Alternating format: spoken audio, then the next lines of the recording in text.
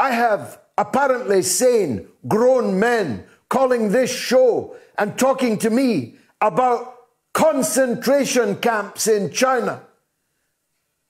In the media, claims of a million Uyghurs in concentration camps. It's all from the same people. It's all from the people who told you that Iraq was bristling with nuclear, chemical, and biological weapons.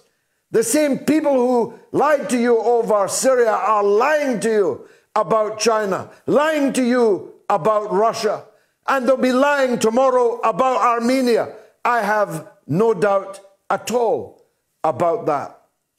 And even when it's abundantly obvious that each lie turns into disaster, not just exposed as a lie, but as an actual boomerang that rebounds against our national interest and the safety of our people, our so called media leads us over and over and over again into the same kind of morass.